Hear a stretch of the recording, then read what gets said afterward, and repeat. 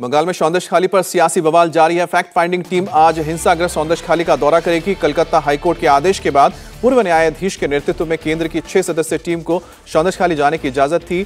सीमित और समिति में 25 फरवरी को हिंसाग्रस्त चौंदश खाली का दौरा करने की कोशिश की थी, लेकिन तब बंगाल पुलिस ने उन्हें रोक दिया था फैक्ट फाइंडिंग टीम को।